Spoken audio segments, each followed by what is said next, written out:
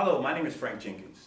I work at the Panzer ID card office, building 2915, on the first floor, room 128. Welcome to the Stuttgart military community.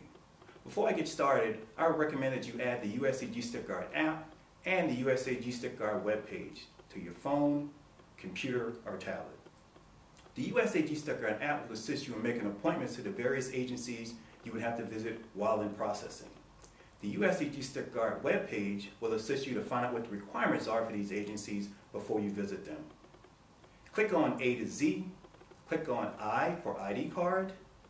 There you will see a list of the different services the ID card office offers, plus the requirements for those services.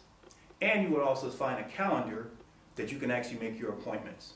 Services we offer at the Panzer ID card office are Common Access Card, a CAC card, family member ID cards, civilian family member ID cards with overseas only printed at the top, adding family members to DEERS, adding reserve and National Guard soldiers orders to DEERS, DA civilian, um, retired CAC cards, retired military and their eligible family member ID cards, PIN resets, 100% disabled military ID cards and their eligible family members, reserve, reserve component family member ID cards, college letters to DEERS, TRICARE young adult ID cards, and adding a local national for a CAC card to DEERS.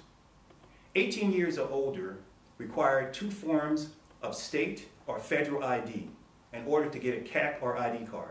Civilian Personnel Office and Non-Appropriated Funds, NAF, office, these are the only two agencies that employees don't have to have a DD Form 1172 in order to get their ID card, providing they are placed in the DEERS system with their assignment end date and logistical support has been added to their profile.